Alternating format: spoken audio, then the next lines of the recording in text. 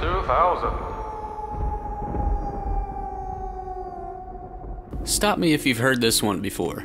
A scientist works on a highly experimental project in a lab in his basement. He tells the prepubescent kids to stay out of the basement. Surprise, they don't. The kids find that their dad, uncle, whatever has been replaced by the experiment he's been working on. The person they thought was their dad, uncle, whatever has been a monster all along, and the real version has been locked away in a supply closet.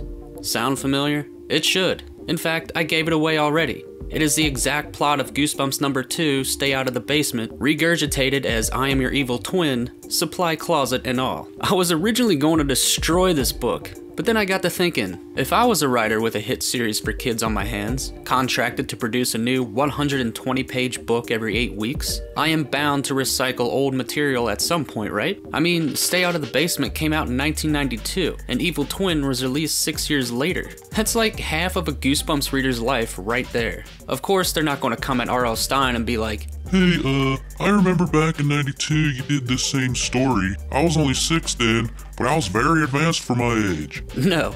The kids who read this book in 92 were 18 and 98 and likely moved on to Stephen King in high school like I did. They didn't give a shit, so R.L. Stine didn't give a shit. It's genius, really. Anyway, so we already know what's gonna happen, so I'll make this brief. The story follows a kid named Montgomery Adams and his cousin Nan. Montgomery, or Monty for short, is staying at his cousin's house while his mom is off adventuring in some jungle doing God knows what. She's really not important to the story. Monty's uncle Leo is the scientist doing the experimenting in the lab bit, and soon finds that he is being blamed for things that he didn't do, namely because a person that looks exactly like him has been causing trouble. Yes, Monty has a legit doppelganger, and there is one pretty cool scene when Monty is forced to clean up a classroom that his twin had destroyed. As he's working, he looks up and sees his reflection in the window, only the window is open. The doppelganger was looking in at him, mimicking his facial expressions to mess with him. This actually gave me chills. Yeah, I thought about going for the cheap pun there. The rest of the story plays out as I outlined above. Turns out Nan is actually Monty's for real twin, given up at birth by his mother because the biological father had just died and she couldn't afford two kids and gave Nan to her brother Leo, blah blah blah. Notice the attempt to throw us off the trail, but we're smarter than that, aren't we? This is the 60 something book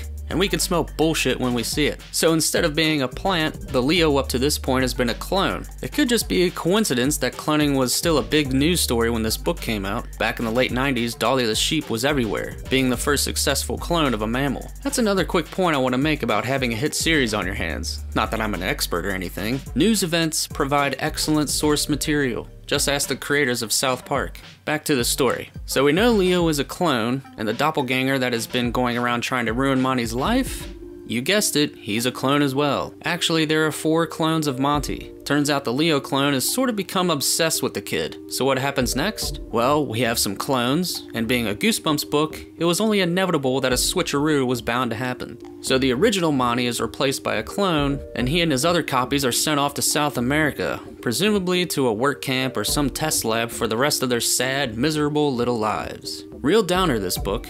On the bright side, maybe this is R.L. Stine's way of saying he's done with the stay out of basement type stories? One can only hope, though I am saying that with a slight bit of sarcasm. See you next time, viewer. For more reviews, be sure to leave a like and subscribe to the channel. Hit the bell icon to be notified when new videos go live. Thanks for watching.